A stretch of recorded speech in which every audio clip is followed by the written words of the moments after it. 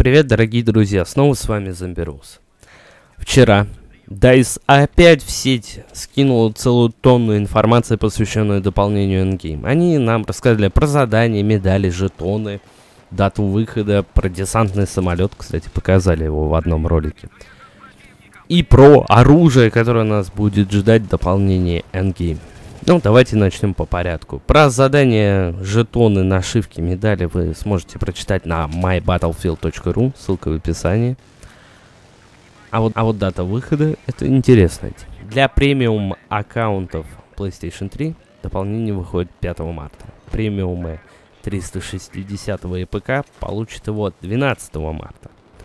Рядовые пользователи PlayStation 3 получат его 19 марта а рядовые пользователи ПК и 360 26 марта. Так что, друзья, идем на Каспию, готовимся к масштабным битвам на мотоциклах, самолетах и зниках. Ну, а что же десантный самолет? Как оказалось, это реально Си-130, который будет скидывать пехоту и БМП.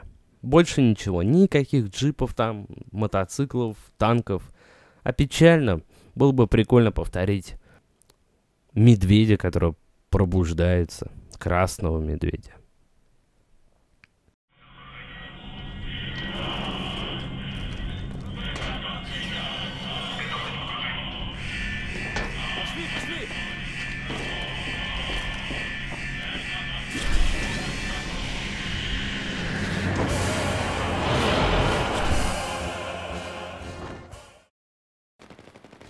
Ну а теперь главная вещь, про которую я хочу рассказать, это оружие.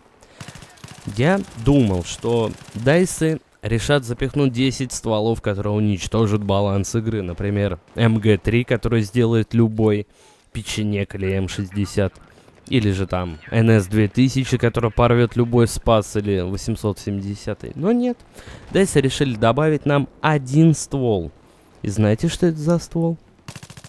М1911. Пистолет, который есть в игре. Ну, слава богу, что в варианте для разработчиков DICE. Если кто не знает, 1911 в варианте разработчика DICE это 1911 с глушителем и фонариком.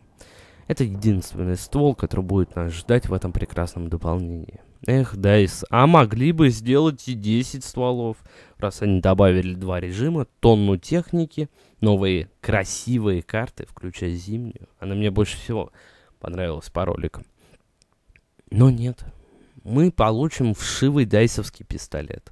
Ну ладно, они обещали нам пистолет добавить еще в Close Quarters, вот мы его и получили. Ну, дорогие друзья, во-первых, сегодня выходит гайд по PP19 Бизон. И я думаю, на этом можно закончить. Подписывайтесь, комментируйте, ставьте лайк. Увидимся на поле боя. Пока.